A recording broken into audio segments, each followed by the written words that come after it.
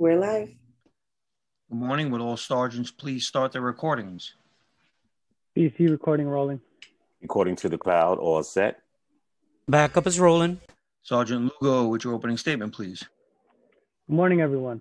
Welcome to today's remote New York City Council vote of the Committee on Hospitals. At this time, would all panelists please turn on your video. To minimize disruption, please place electronic devices to vibrate or silent. Thank you for your cooperation. Chair Rivera, we are ready to begin.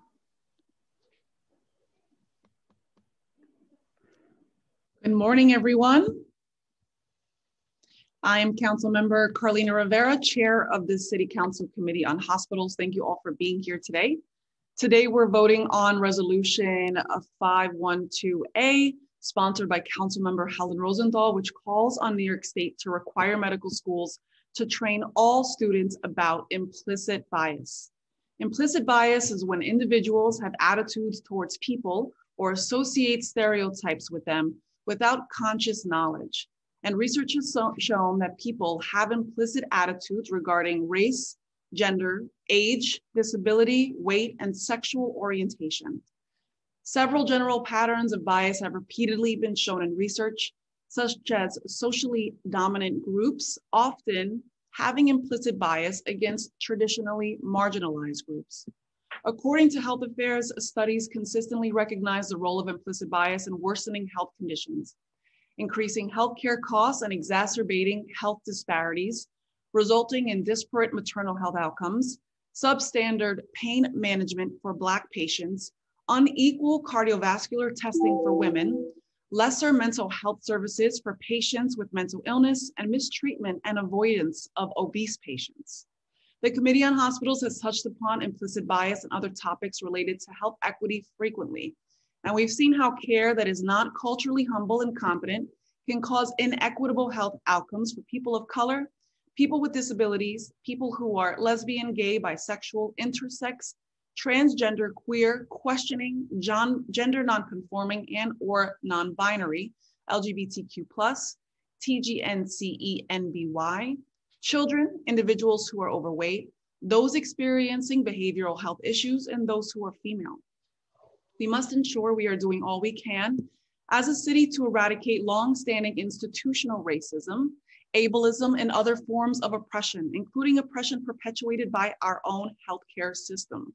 It makes no sense that implicit bias training is inconsistent among medical schools. Every single doctor should understand structural racism and other forms of oppression in the medical field, and each should actively engage in activities to promote reflection on their own implicit biases. As we continue to watch the inequitable impacts of COVID on communities, no one can deny this reality many of us have known for so long and implementing across the board meaningful implicit bias training is one important step to address our inequitable healthcare system. I very much look forward to voting on this legislation today and would again like to thank my colleagues for being here. I also want to thank the staff of the Hospitals Committee, Council Harbani Ahuja, Policy Analyst Emily Balkan, Finance Analyst John Chang, and Data Analyst Rachel Alexandrov for all of their work. I'm going to check if Councilmember Rosenthal is here. I know she was um, running a press conference. I'm not sure if she's wrapped that up. Okay. I guess I'll turn it over to counsel. Thank you, Chair. I'm going to turn it over to the clerk. Good morning, everyone.